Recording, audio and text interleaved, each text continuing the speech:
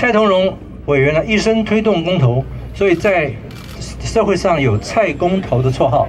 现在民进党变成蔡英文封杀公投的“蔡杀头”，蔡杀头领导蔡政府摧毁公投制度，为伤害台湾民主立下耻辱的里程碑。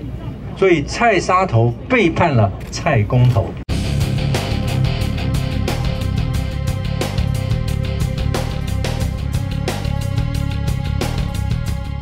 民进党可以说是靠公投起家，在公投还没有立法的时候，他们就在地方啊办咨询性的公投。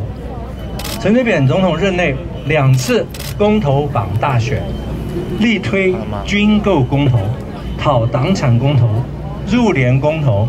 民进党在野的时候，蔡英文主席主张美牛公投，并签署重启美国牛肉谈判公投联署书。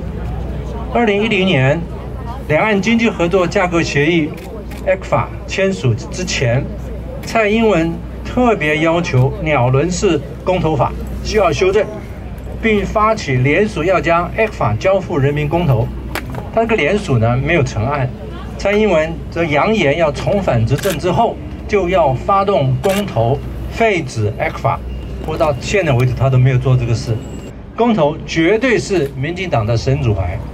但是我们看到，二零一六年民进党重新执政之后呢，在蔡英文总统领导下，是如何违反自己当年坚持的理念，背叛神圣的公投？因为二零一八年九合一选举的时候呢，同时举行公投，结果使得民进党大败。他生怕公投绑大选会影响蔡总统的连任，所以呢，他悍然的修恶公投法。